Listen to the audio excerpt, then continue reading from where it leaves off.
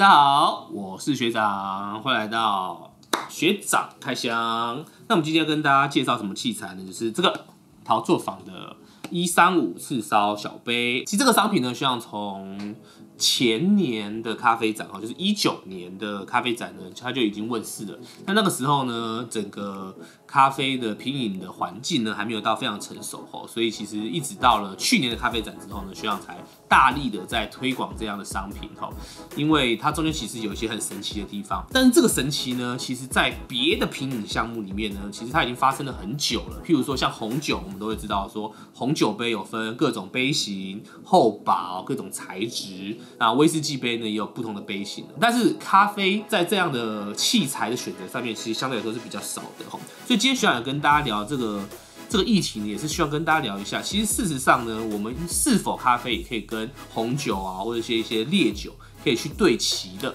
就是我们可以利用器材杯子的不同哈，去修正或者是去领略同一杯咖啡里面的不同味道，并且呢，用这样的。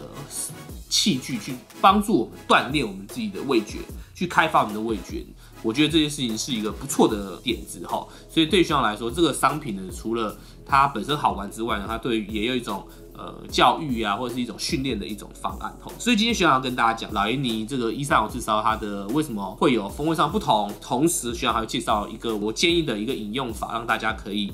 利用这样的方式呢，去使用一三五至烧，并且得到很好的训练效果。那我们就来看一下老烟尼的一三五至烧吧。OK，好，这就是它的盒子。然后打开来以后呢，可以看到哈，这边有。一次烧、三次烧、五次烧，三个杯子哈。但是从外观上面呢，你是看不出来说它是一次烧还是三次烧还是五次烧的。当然，五次烧的颜色一般来说会比较淡一点点哈。但是呢，我还是不考验大家眼睛哈。基本上呢，我们可以从后面可以看到，上面一个火代表说是一次烧，然后呢，如果有三个火，得到一个火，然后一个盐，哈，这就是三个火，就是三次烧。然后这个一个盐，然后另外一个是盐哦，加起来五个火，这五次烧。所以我们可以从杯底的部分可以看得出来，还有一次烧、三次烧、五次烧。然后呢，我们再看一下它的外观上面哈，这次一上五次烧呢，需要选择的是里面没有上釉的，因为其实陶作坊它有两两款设计，一种是里面有上釉的，另外一种呢是里面没有上釉的。像这个呢，就是所谓的只有旧口的部分有一点点上釉。但是其实承载咖啡的部分是没有上釉的哦。那这样子的呃杯子呢，它其实对于风味的影响会比较显著哦。对。但是如果有上釉的话，就没有那么显著。但是这样的也没有上釉的缺点，就是清洁部分会比较需要花点功夫。但是没关系，需要大家最后的时候跟大家提一下清洁部分哈。OK，然后呢，外观上面呢，其实它没有明显特征。但是我们可以看到一个比较有趣的地方，在于是说，原则上呢，你烧的次数越多，它会比较偏白一点点，就是它会有结晶的感觉，会比较有土色。如果烧的比较少的话，比较偏紫色。哦，会差一点点啦，哈。那偶尔都会有这种，可以看到吗？这种这个其实都不是不是失败，哈。因为老烟泥其实它就是一个把泥巴跟矿砂，哦，就是所谓的金属矿砂一起糅合，哈，一起去烧制的过程。所以呢，其实它的泥料里面含的金属的比例，每一每一个部位呢不完全一样，这是很正常的，哈。所以它就会有一种天然的一种不同的一点点烧制的痕迹，哈。所以这个也是。老爷尼的一个有趣的地方，哈，就是它基本上会有一点点纹理。好，那这就是老爷尼一三五次烧的外观上面的一些差异啦，哈。其实现在大家如果去网络上看一下，很多人的很多网友们的评论，他们都会觉得说，哇，真的会很神奇耶！为什么一三五次烧同一杯咖啡倒上去的时候，风味上会不同？在了解这件事情之前，我们先了解一下什么叫一三五次烧，哈，其实就是这个杯子呢，老爷尼这个泥料，它里面就是有泥巴，好，一般的泥巴，还有矿物质、矿砂。一起揉合完以后呢，然后就捏成这个杯子的形状。然后捏好以后呢，我们必须要去呃窑窑厂里面去烧制，好，那就要烧很高的温度，它才会成型嘛，对不对？那如果我烧完一个杯子以后呢，诶，烧完的话就成型了，就这样硬邦邦的。然后，但是我一样同样烧好杯子，等它冷却以后再放进去烧第二轮，好，就是变成两次烧。那如果呢，依此类推，全部总总共烧三次，就是三次烧。那总共烧五次就是五次烧，所以五次烧的价钱一般都会比一次烧的贵，这也是很合理的，因为它是工钱的部分。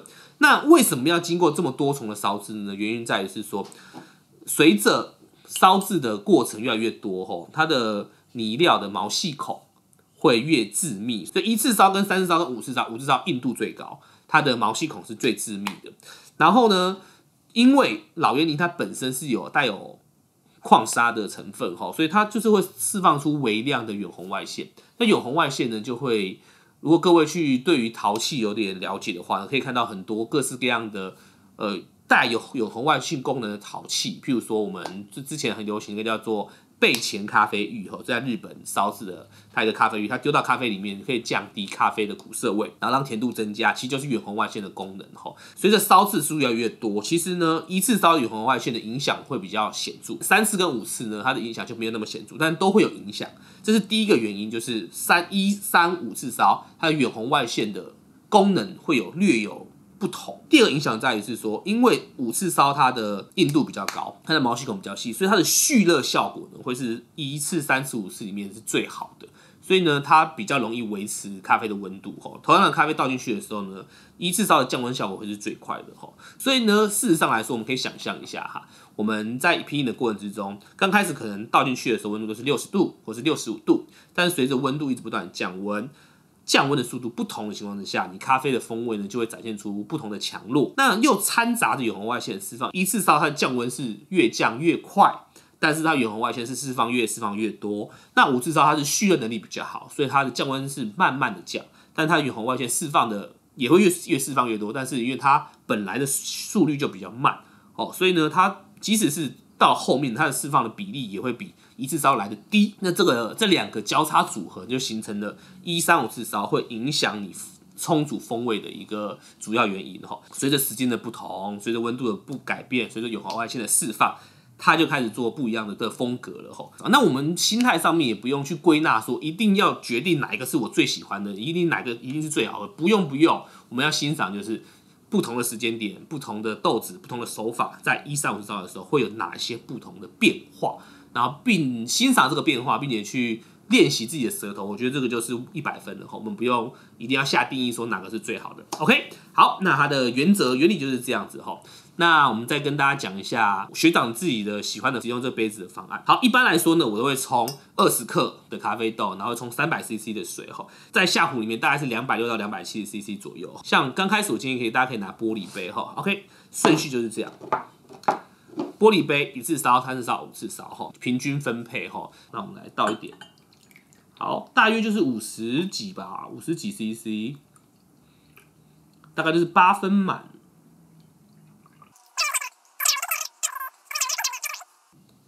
OK，这样就可以把我们的咖啡分完，哈。然后这个时候呢，怎么喝呢？建议大家啦，哈，高温的时候我们喝一轮，中温的时候喝一轮，低温的时候喝一轮。然后就这样子把它喝完就好了哈。那这个变化其实很好玩，就是我们可以做两个交叉变化，一个是什么呢？同一温度的时候的四倍交叉变化。那第二个是什么呢？同一支咖啡豆，同一个杯子里面的温度不同的纵向变化，所以横向跟纵向可以比两次。这样子呢，你就可以去练习自己的味觉的敏感度，其实非常非常好的。而且除了训练之外，就是很好玩啦。OK，好，那我们来现在喝一轮。